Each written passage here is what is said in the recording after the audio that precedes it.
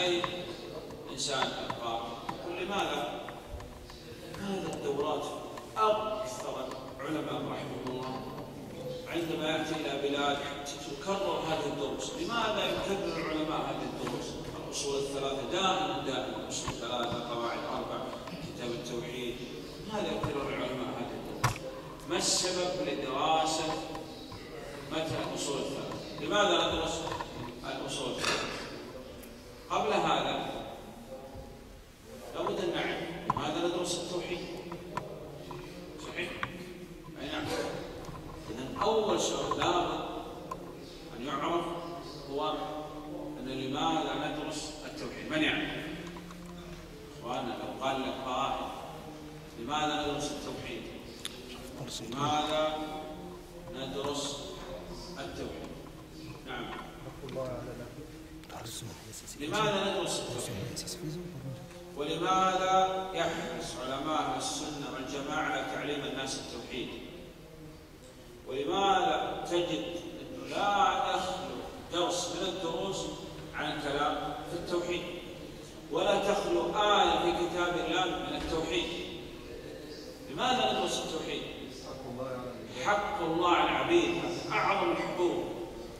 أول حقوق أول واجب على العبيد.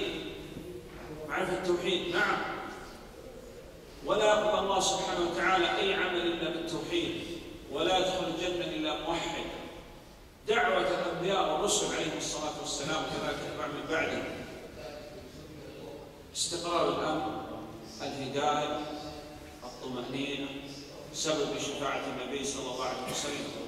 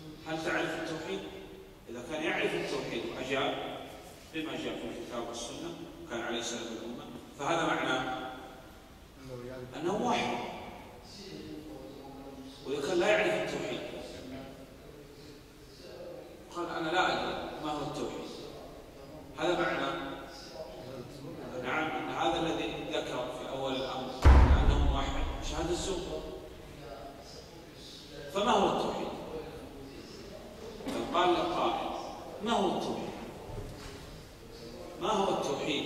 نعم. التوحيد يعرف شرعا. نحن هذا الذي نريد. نريد التعريف الشرعي نعم. هو إفراد الله سبحانه وتعالى بما يختص به. إفراد الله سبحانه وتعالى بما يختص به. من الربوبية والألوهية والأسماء والصفات. يعني إفراد الله سبحانه وتعالى بأنواع التوحيد الثلاثة توحيد الربوبية وتوحيد الألوهية وتوحيد الأسماء والصفات. هذا هو التوحيد. التوحيد هو إفراد الله سبحانه وتعالى تفرد الله سبحانه وتعالى ولا يمكن أن تأتي بند شبيه ونظير ومثيل وتجعل لهذا ما لا يمكن أن يصرف إلا لله. هذا هو التوحيد إفراد الله سبحانه وتعالى. هو إفراد الله سبحانه وتعالى بما اختص به من الربوبية والألوهية والأسماء والصفات. ما هو توحيد الربوبية؟ توحيد الربوبية هو إفراد الله سبحانه وتعالى بأفعاله أو إفراد الله سبحانه وتعالى بالخلق والملك والتدبير. إن الله هو الخالق والرازق والمحيي والمميت والمدبر. نعم إفراد الله سبحانه وتعالى بأفعاله توحيد الثاني؟ توحيد الألوهية توحيد توحيد العبادة. وهذا التوحيد ما الفرق بين هذا التوحيد وتوحيد الربوبية؟ توحيد الربوبية إفراد الله سبحانه وتعالى بأفعاله وتوحيد الألوهية إفراد الله سبحانه وتعالى بأفعال العباد. توحيد الربوبية هذا التوحيد أقر به الكفار الذين بعث بهم النبي عليه الصلاة والسلام. نعم. ولئن سألتم من خلق السماوات والأرض ليقولن الله. توحيد الألوهية. أبى الكفار الذين بعث بهم النبي صلى الله عليه وسلم يقروا بهذا التوحيد. وكانت الخصومة تخاصم النبي صلى الله عليه وسلم عن الكفار في توحيد؟ في هذا التوحيد. إقرارهم بتوحيد الربوبية. هل يدخلهم في الإسلام؟ لا. إذا توحيد الألوهية توحيد العبودية توحيد العباد. إفراد الله سبحانه وتعالى بأفعال العباد. أو إفراد الله سبحانه وتعالى بالعباد. قل إن صلاتي ونسكي ومحياي ومماتي لله رب العالمين لا شريك له وبذلك أمرت أن أول المسلمين كل العبادة لله. لو صرف شيء من العباد لغير الله كل من صرف شيء من العباد لغير الله فقد وافق الكفار الذين بعث فيهم النبي صلى الله عليه وسلم. نعم هو مشرك كافر والدليل. وان المساجد لله فلا تدعوا مع الله أحد. ومن يدعو مع الله إلها آخر لا برهان له به فإنما حسابه عند ربه إنه لا يفلح الكافرون. اذا هذا التوحيد توحيد الألوهية كما ذكر الشيخ بن عثيمين رحمه الله تعالى في مقدمة شرح كتاب التوحيد في القول المفيد ذكر هذا لابد أن نركز عليه هذا التوحيد. نعم لأن الخصومة حصلت فيه وأنه أكثر ما يكون خلل عند الناس في هذا التوحيد توحيد الالوهيه إفراد الله بالعبادة الثالث توحيد الأسماء والصفات. هو إفراد الله سبحانه وتعالى بما سمى ووصف به نفسه. أي في كتابه أو على لسان رسوله صلى الله عليه وسلم. وذلك كيف؟ بإثبات كل ما أثبت الله لنفسه. ونفي كل ما نفى الله عن نفسه من غير تحريف ولا تعطيل ومن غير تكييف ولا تمثيل فتح الله عليك. إذا عندنا سؤال مهم جدا. لماذا ندرس التوحيد؟ قبل البدء بدراسة هذه المتون سواء الأصول الثلاثة أو القواعد أو الدروس المهمة أو كتاب التوحيد أو لماذا ندرس التوحيد؟ ثم هذا الذي يقول أنه موحد. نسأل. أيضا. هل أنت مشرك؟ نقول لا الناس مشرك أعوذ بالله نقول ما هذا الشرك الذي تخاف منه وتدعي أنك لست مشرك فإذا عرف الشرك هذا معناه نعرف الشرك ومعناه أنه ليس مشرك لكن إذا كان لا يعرف الشرك نقول له لعلك واقع بشيء من الشرك وأنت لا تدري عنه إذا أهم ما عليك كما يذكر الإمام محمد بن عبد الوهاب رحمه الله أهم ما عليك معرفة التوحيد حتى تعمل به ومعرفة الشرك حتى تجتنب هذا الشرك ولا تقع فيه عرفت الشر لا للشر ولكن لتوقيه ومن لا يعرف الخير من الشر قال يقع فيه إذا مهم جدا أخواننا نتعلم التوحيد طيب هذا هو السؤال الأول لماذا ندرس التوحيد؟ قال الكتاب نعم لابد من دراسة التوحيد ماذا أقدم ماذا أخر كتب كثيرة من التوحيد أول ما يبدأ به الطالب في الدراسة التوحيد وأول كتاب يبدأ به التوحيد أي كتاب أو, أو أي متن يعرف أربع أسباب من يعرف بسم الله الأصول الثلاثة لماذا؟ لماذا نبدأ بالأصول الثلاثة؟ ولا نبدأ مثلا بكتاب التوحيد أو بالقاعدة أربع مذهب أو بغير هذا من الكتب. كتب كثيرة مؤلفة نعم. الأول نصيحة العلماء. لنا الطلاب والطالب لابد أن يرجع في طلب العلم. إلى العلماء الربانيين ولو ردوه إلى الرسول وإلى كل الأمر منهم لعلمه الذين يستنبطون منه ولولا فضل الله عليكم ورحمته لاتبعتم الشيطان إلا قليلا مهم جدا أن تعرف هذه المسألة. أنه ليس لك أن تقدم وتؤخر وتقول هذا يصلح هذا لا يصلح لي وكذا وهذا. لا. ولو ردوه إلى الرسول وإلى أولي الأمر منهم لعلم الذين يستنبطونه ولولا فضل الله عليكم ورحمته لاتبعتم الشيطان إلا قليلا إذا ندرس الأصول الثلاثة ونقدم الأصول الثلاثة لنصيحة العلماء الربانيين. هذا أول. غيرها ولأن هذا مثل مختصر واضح. وعناية العلماء كثرة الشبهات عليه. بل الإرشاد إلى حفظ هذا المتن. ولأنه متن سهل. وفيه أسئلة وأجوبة وأدلة من والسنة والمؤلف إمام. صحيح؟ ثم الأصول الثلاثة مهمة جدا. إذا تعلمت هذه الأصول في الدنيا ثم عملت ثم دعوت تجيب بإذن الله عن سنة نعم. طيب فتح الله هذا السؤال الثاني. السؤال الأول لماذا ندرس التوحيد؟ السؤال الثاني لماذا ندرس متن الأصول الثلاثة؟ السؤال الثالث. ما هي الأصول الثلاثة؟ من يعرف الأصول الثلاثة نعم نعم. هي أسئلة القبر. أسئلة القبر فتح الله عليك. أي واحد يسأل؟ ما هي الأصول الثلاثة؟ والأسئلة القبر. تسأل في القبر عن ماذا؟ من ربك. من ربك؟ وما دينك. وما دينك؟ ومن فتح الله عليك. إذا لا. هذه مذاكرة. نعم. إذا الأصول الثلاثة هي باختصار أسئلة القبر.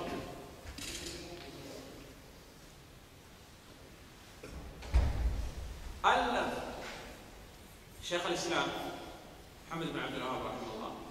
هذه الرسالة في ثلاثة أصول هي أسئلة القبر. مهمة؟ نعم. ولا بد؟ فتح الله طيب السؤال الرابع. ما هي الثمرة التي نجنيها من دراستنا الأصول الثلاثة؟ بعض الطلاب هدانا الله إلى. يقول أريد جائزة مكافأة. أريد شيء يعني أستفيد منه. بدراسة هذا ما الفائدة؟ لأن بعض الطلاب هدانا الله إياه يعني لا يشعر بقيمة العلم ولا يعرف قيمة العلم فما الفائدة من دراستنا لهذا المتن المبارك مثل اصول الثلاث؟ ما الفائدة؟ ما هي الفائدة؟ ما هي الجائزة؟ ما هي الثمرة؟ من يعرف؟ نعم أخي الإجابة عن أسئلة القبر لأن هناك نسأل الله السلامة والعافية في القبر يسأل ويقول ها ها لا أدري يثبت الله الذين آمنوا بالقول الثابت. في الحياة الدنيا وفي الآخرة. نسأل الله يثبتنا وإياكم إذا الثمرة هي الإجابة عن أسئلة القبر. فإذا تعلم الإنسان تعلم. أي درس الأصول الثلاثة ثم عمل. ثم دعا وعلم الناس. بإذن الله يجيب عن أسئلة القبر. والعصر إن الإنسان لفي خسر. استثنى من؟ الذين آمنوا علما وعملوا عمل وتواصوا نعم وتواصوا بالصبر صبر. فتح الله عليه نعم. طيب.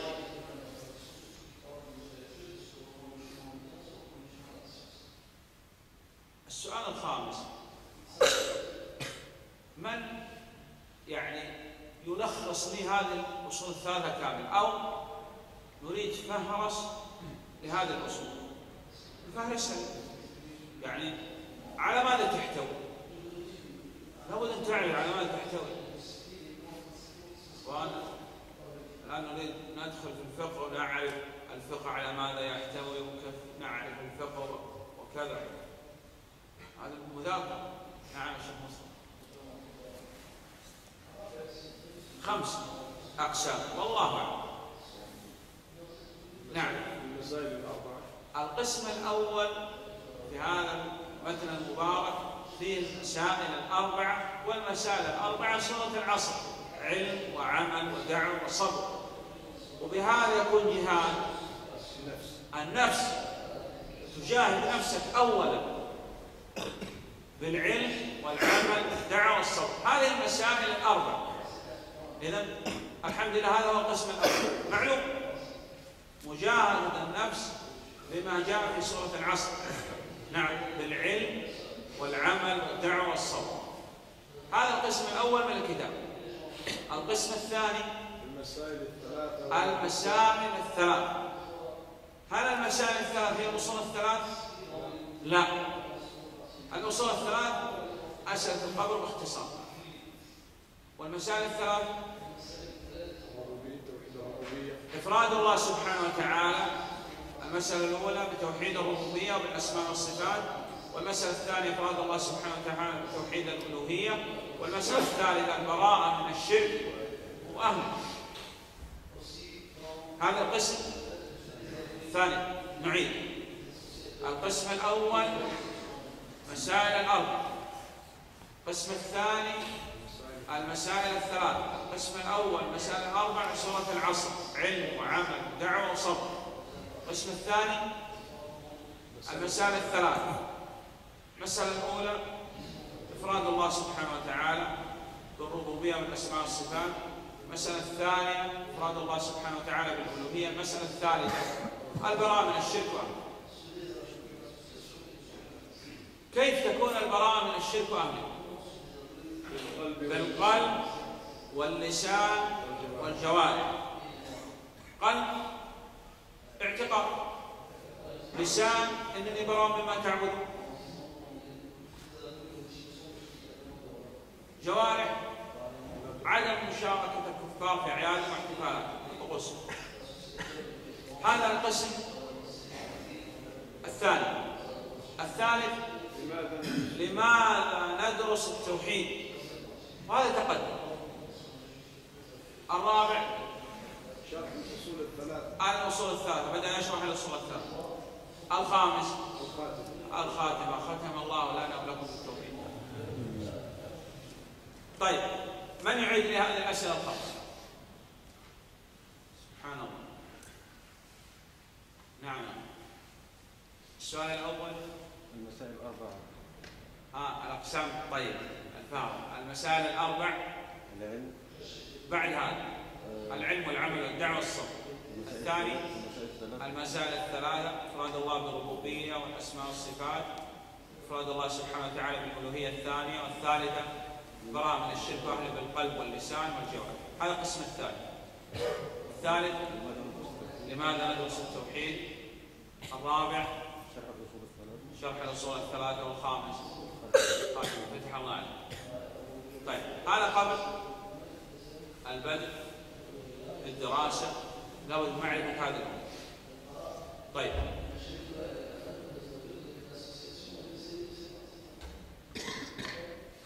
لماذا تميزت كتب الإمام المجدد محمد بن عبد الوهاب رحمه الله؟ ذكرنا شيء منه هنا.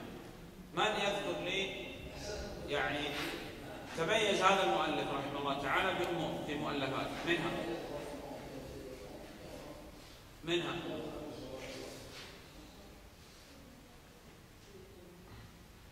أبو الحارث. نعم. أهم ما يكون في مؤلفات الشيخ. الأدلة. يركز على الأدلة بل في كتاب التوحيد. لم يذكر شيء من كلامه. ذكر الأدلة من الكتاب والسنة لا يذكر مسألة إلا مقرونة بالدليل. وهذا مهم جدا.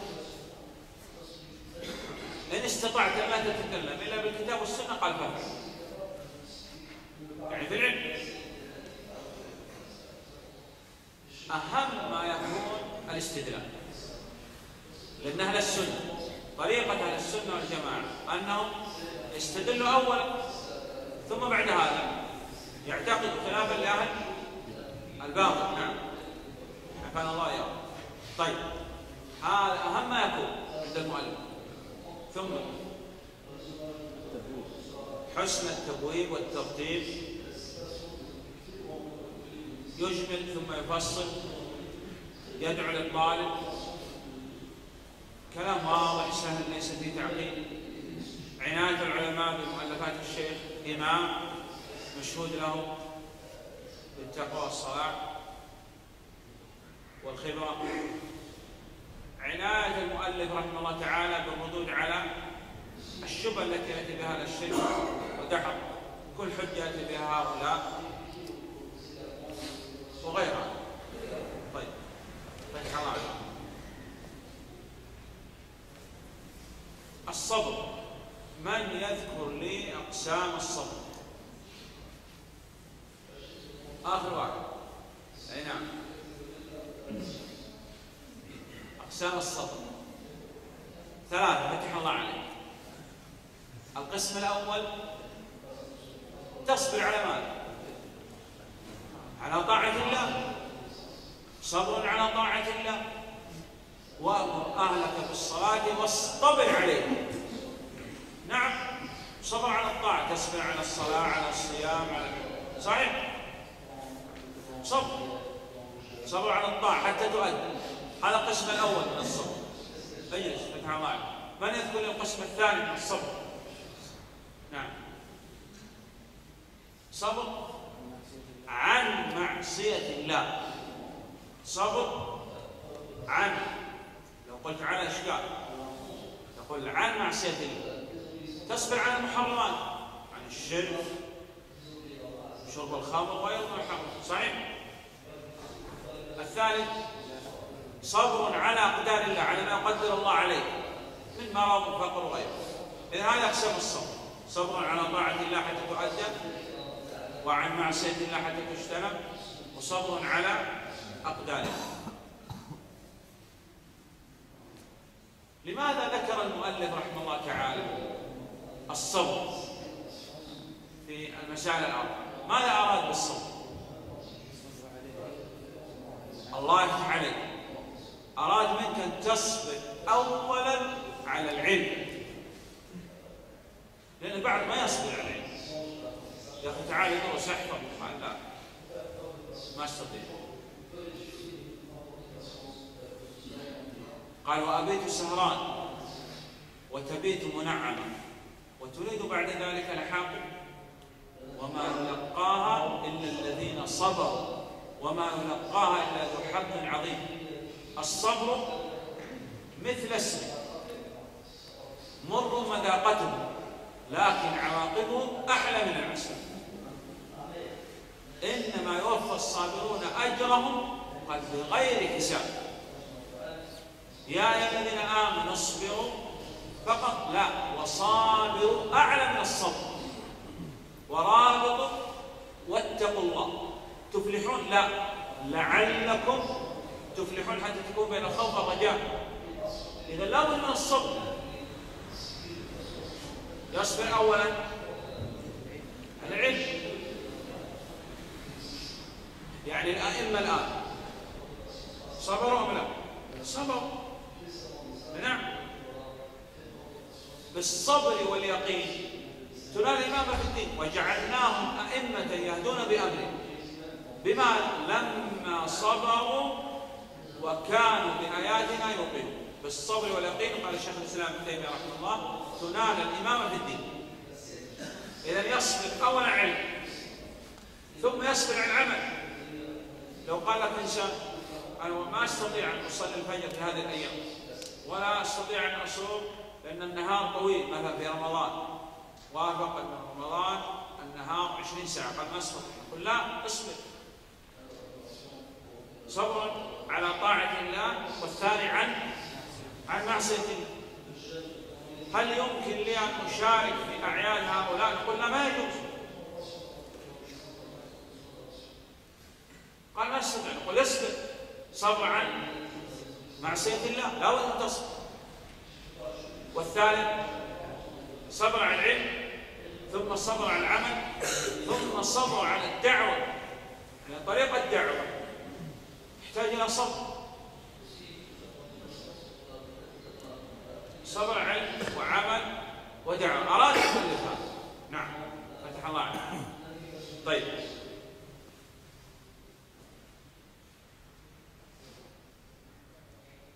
ما هي الحنيفية؟ الحنيفية. الحنيفية. إن إبراهيم كان أمة قانتا لله حنيفا. الحنيفية نعم. هي الملة المائلة عن الشرك المبني على إخلاص التوحيد. كل من يقبل على الله بالتوحيد ويدبر عن الشرك. نعم. إن إبراهيم كان أمة قانتا لله حنيفا أي مقبل الله مبتعد عن الشرك نعم. طيب. اصبر ما هو الند؟ فلا تجعلوا لله أندادا. وأنتم تعلمون. الند الشبيه والنظير والمثيل طيب ذكرنا في الأصول الثلاثة أن المؤلف رحمه الله تعالى ذكر آية وقلنا هذه الآية فيها أول نداء وفيها أول أمر وفيها أول نهي ما هي هذه الآية؟ آية فيها أول نعم نعم يا أيها الناس من الناس؟ ننظر في هذه أي سورة؟ سورة البقرة. في سورة البقرة في أول هذه السورة قسم الله سبحانه وتعالى الناس إلى ثلاثة اقسام مؤمن وكافر ومنافق بينهم. يظهر الإيمان ويبطن الكفر نسال الله السلامه والعافيه وذكر الله سبحانه وتعالى أوصاف كل قسم من اقسام الثلاث لكن أكثر آيات كانت في وصف المنافق. لأنه يخفى امره على كثير من الناس هم العدو فاحذروا ثم الله سبحانه وتعالى جمع الجميع. يا أيها الناس أي من مؤمن وكافر ومنافق. نسأل الله السلامة والعافية. يا أيها الناس ماذا؟ اعبدوا معنى يعبدون؟ يوحدون اعبدوا أي وحدوا ربكم. لماذا؟ لماذا نفرد الله سبحانه وتعالى بالعباد؟ قال ربكم أي هو الخالق. فالخالق هو المستحق للعباد. الذي خلقكم هو الخالق. والذين من قبلكم يعني لا خالق إلا الله. ثم ساق الله سبحانه وتعالى الأدلة التي تدل على انفراده بالربوبية واستدل بهذا على توحيد الألوهية. يا أيها الناس أول يا أيها الناس في ترتيب القرآن الفاتحة والبقرة والعمران والنساء أول نداء هنا نداء إلى التوحيد هذا فيه دليل على أهمية التوحيد. يا أيها الناس اعبدوا أول أمر اعبدوا أي وحدوا أول نهي أين؟ أول نهي القرآن. في هذه الآية فلا تجعل الله أندادا النهي عن الشرك. فلا تجعل الله أندادا شبهاء ونظراء مثلا تصرفون لهم ما لا يصرف إلا لله من الدعاء والذبح والنذر وغيره. وأنتم تعلمون تعلمون ماذا؟ نعم تعلمون أن الله سبحانه وتعالى هو المنفرد بالربوبية لا بد أن يفرد بالألوهية. الخالق هو المستحق للعباد. الحمد لله رب العالمين. يعني أحمد الله لأنه هو هو الرب. لا بد أن يكون هو المعبود. هو الخالق إذا هو المعبود. نعم فتح الله عليك.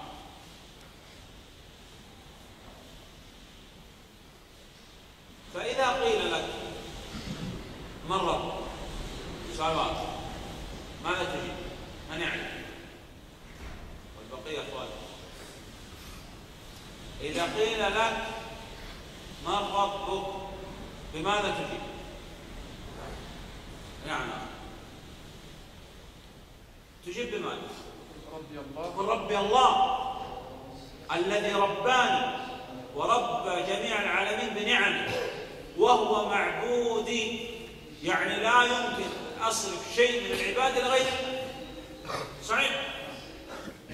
فإذا كان هو الخالق هو المستحق للعبادة صح؟ هل الأصنام تخلق؟ ترزق؟ تدبر؟ تقدم؟ تؤخر؟ إذا لا تستحق أن تعبد. من الذي يعبد؟ الله هو الخالق. أم خلقوا من غير شيء أم هم الخالقون؟ إذا ما يمكن هذا دليل على بطلان العباد مع سوى الله. والذين تدعون من دونه ما يملكون من قطمير إن تدعوهم لا يسمعوا دعاءكم. لو افترضنا سمعوا قال ما استجابوا لكم. صحيح؟ ويوم القيامة تكفرون بشرككم ولا ينبئكم مثل الخبير. إذا إذا قيل لك من ربك؟ تقول ربي الله الذي رباني وربى جميع العالمين. بنعم. هل يمكن تقول بقرة هي الإله؟ لماذا؟ لا ترزق ولا لا يمكن والإله لابد يكون كامل الصفات. صحيح. قال يا أبت لم تعبد؟ ما لا يسمع ولا يبصر ولا يغني عنك شيئا. يعني لا قليل ولا كثير. صحيح. أي نعم. فإذا قيل لك من ربك فقل ربي الله. وفي هذه في هذه العبودية لله عزة صح ومن يخرج من هذه العبودية يقع في ماذا؟ في الحرية هم يقولوا هذا. بعض الناس تسأل يا أخي لماذا تصنع؟ قال أنا حر صح لماذا تذهب احتفالات وأعياد الكفار؟ قال أنا حر حر هذا معناه أنه عبد عند من؟ نفس والشيطان. هذا اللي يقول لك يعصي الله. وتقول لماذا تعصي؟ يقول أنا حر وهو في الحقيقة. نعم عبد. من نفس الشيطان. فروا من الرزق الذي خلقوا له. خلقت حتى تكون. عبد؟ لله إذا فررت من هذه العبودية وقعت في عبودية نفس الشيطان مفهوم؟ فإذا قيل لك من ربك؟ نقول ربي الله الذي رباني وربى جميع العالمين بنعمه وهو معبودي ليس لي معبود سوى فتح الله عليك طيب إذا قيل لك بما عرفت الله ما الأدلة على وجود الله نعم.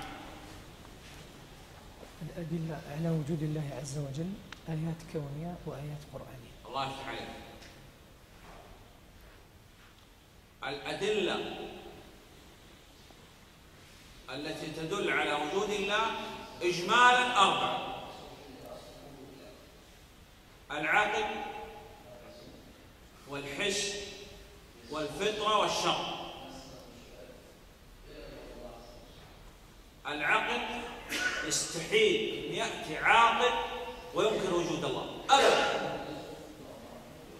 لماذا؟ تنظر في هذا الكون انتظام بديع. طلوع الشمس والمجرات والبحار والأنهار تعاقب الليل والنهار. يدل أن لهذا الكون خالق واحد مدبر سبحانه وتعالى. عقل الحس. تكون في كرب شدة. ترفع يديك إلى السماء تقول يا رب يا رب فرجها تجدها تنفرج هذا دليل حسي محسوس. ثلاثة الذين أطبق عليهم. الله. كل ما يدعو واحد تنفرج الصخرة أمامه. هذا دليل حسي قام النبي صلى الله عليه وسلم يدعو وما بالسماء من سحاب. لم ينزل عليه الصلاة والسلام من على المنبر إلا وقد نزل غير هذا دليل حسي فإذا ركبوا في الفلك دعوا الله مخلصين له هذا دليل حسي ان الله سبحانه وتعالى نجي هؤلاء هم يعرفوا وجود الله سبحانه وتعالى الثالث فطره كل مولود يولد على الفطره الرابع الشرع كثير اذا اجمعت الادله على وجود الله وان لهذا الخلق خالق واحد مدبر سبحانه وتعالى فإذا قيل لك بما عرفت الله فقل بآيات المخلوقات المخلوق يدل على الخالق نعم وعظم المخلوق يدل على عظم خالق سبحانه وتعالى طيب فتح الله عليك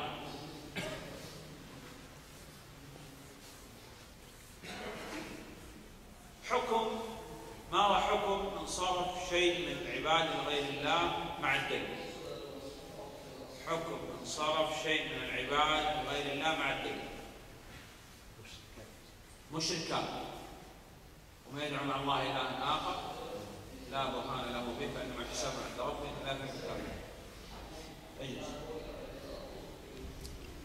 هل يستطيع الطالب أن يصدر الأحكام على الأشخاص؟ نعم أم لا؟ هل يستطيع الطالب أن يقول فلان كافر فلان مشرك فلان مبتدع فلان ضال فلان كذا فلان كذا؟ أو لا يستطيع؟ ها يا إخوان. نعم الشيخ لا يستطيع. لمن هذا كبار علماء ولو ردوه إلى الرسول والى اولي الامر منهم لعلموا الذين يستنبطون الان خروج مرأة من عصمة نقدر عليه. لو جاءت مرأة وقالت قال لي زوجي كذا وكذا هل أنا طالق أم لا؟ نقول لا ندري.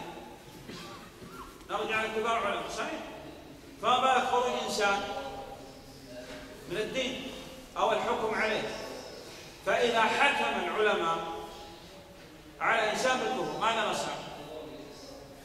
لابد أن نوافق العلماء. توقف العلماء نتوقف وهذه مسألة خطيرة جدا. إطلاق الأحكام على الأشخاص الآن. يعني يتكلم العلماء يتوقف في أشخاص وتجد بعض الشباب هدانا الله إياه يعني يبدأ يتكلم ويتجرأ على مسائل توقف. حتى حتى في الفتوى أخوان والله في مسائل إنها لو وقعت في زمن أمير المؤمنين عمر رضي الله عنه لجمع لها كبار الصحابة.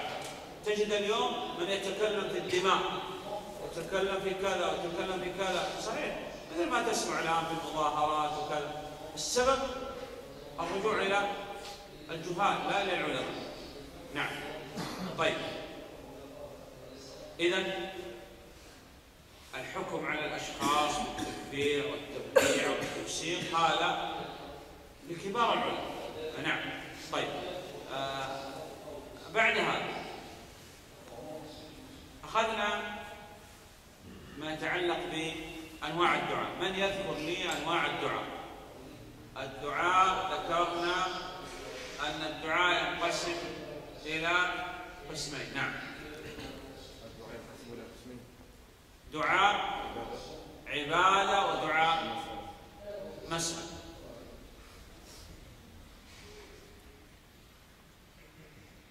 دعاء العبادة ارفع صوتك دعاء بلسان الحال ودعاء المسألة دعاء بلسان المقام. صحيح هذا؟ هذا هذا صحيح.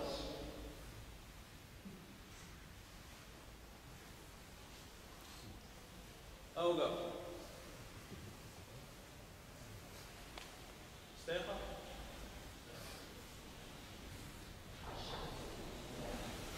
تعال هنا عندنا تعال تعال قرب علي مسافة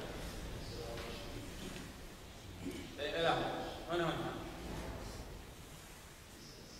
دعاء عبادة ودعاء مسألة دعاء العبادة دعاء بلسان الحال ودعاء المسألة دعاء بلسان مقال دعاء العبادة إنسان يطلب علم مثلا يصلي يصوم يتصدق يأمر بالمعروف ينهى عن المنكر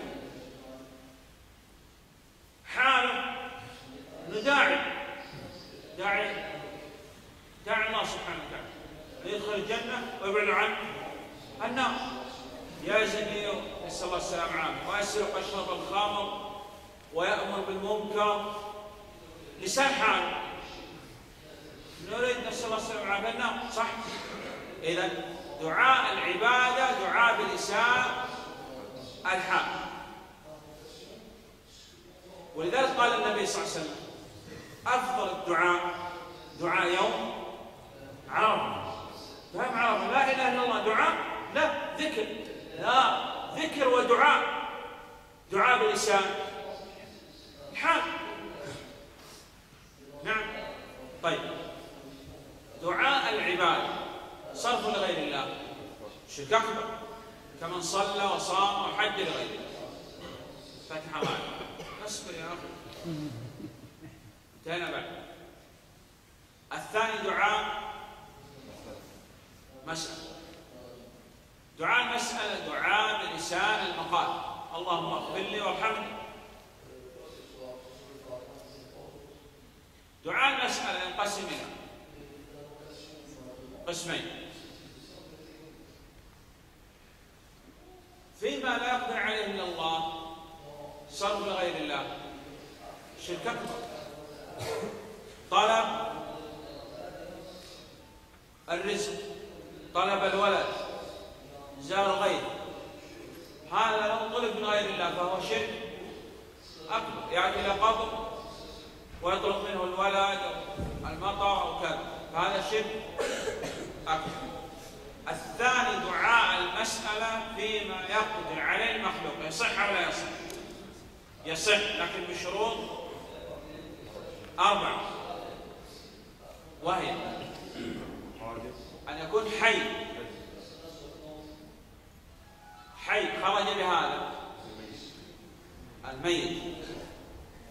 فإذا طلب من ميت جاء إلى قبر ميت وطلب منه شيء فيما يقدر عليه المخلوق يصح؟